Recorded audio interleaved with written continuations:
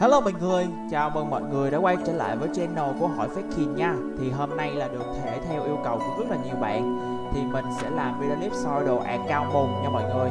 Boss cái bang toàn cõi của ờ, uh, Tân Thiên Long 3D Thì à, ạc mùng thì là sở hữu uh, mức trang bị là 1 triệu 213k trang bị nha mọi người. Xuyên thích là 11k5 Giảm xuyên thích là 4k3 rồi bây giờ chúng ta sẽ cùng soi đồ nha. Đặc biệt là hạt mùng là rất Tất cả các loại trùng đều cố định trên người đều cố định hết á. Đây. Một cái uh, bích lau 8 sao. Một cái trùng lau ngọc cố định. Một cái Phật ngữ 8 sao. Một cái trùng lau triệu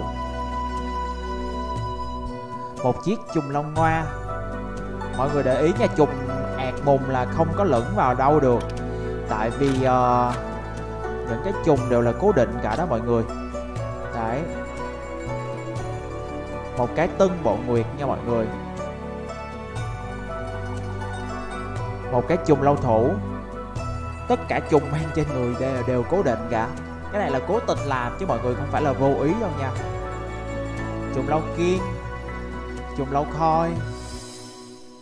Cố định luôn. Thần khí 8 sao. Áo 8 sao. Trùng lâu liên. Đấy mình đã đề mình nói có sai không? Hàng này là không nhầm lẫn với ạc cái bang nào khác được cả.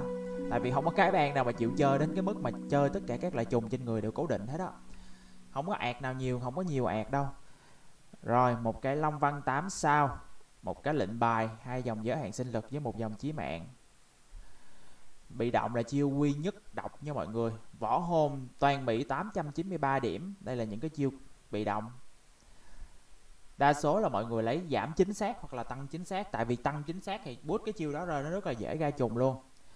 Chân nguyên là full chân nguyên vàng độc chính nha mọi người, thể cũng full chân nguyên vàng thể 89 luôn. Rồi à, hiệp ứng là cấp 100 nha mọi người. Đấy. Rồi à, thần đỉnh. Thần đỉnh là bên à, thể lực là full tầng 7 nè.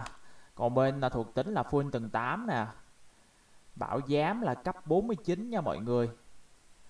Võ ý là cấp 52 hàng này bỏ khá là lâu rồi nên võ ý khá là thấp luôn. Mới mới mới vừa được chủ mới mua lại cách đây không lâu thôi. Nên là võ ý mới cấp 52 thôi. Thường ký cũng vậy luôn thường ký cũng mới khí linh 12 thôi.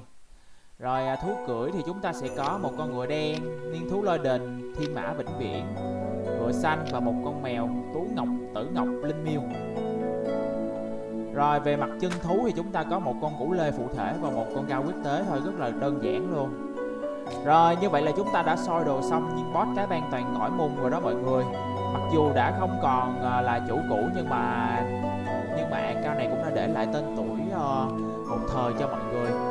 Nếu mọi người thấy thích nhân vật này cũng như là thích thấy thích video clip này thì hãy để lại một like và một đăng ký kênh cho mình nha. Cảm ơn mọi người đã theo dõi và hẹn gặp lại mọi người trong video clip kế tiếp của Hỏi Fakin Bye bye!